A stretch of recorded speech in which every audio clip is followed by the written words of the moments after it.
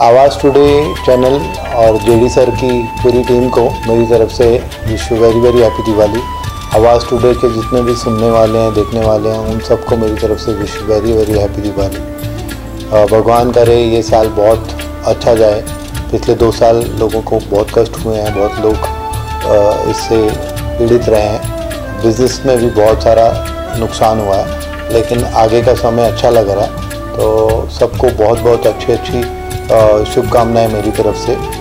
नवी मुंबई के जो जितने लोग हैं, उन सबको मेरी तरफ़ से बहुत बहुत शुभकामनाएँ। Wish you very very happy Diwali subscribe to Awaaz today click on the bell icon for latest national and international buzzing news